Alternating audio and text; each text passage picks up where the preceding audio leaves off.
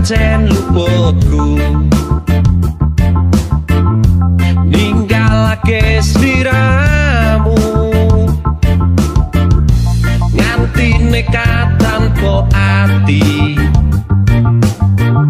Jebur neng lokalisasi.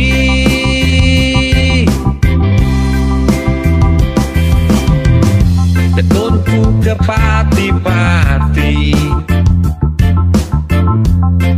Lumangsot jalan.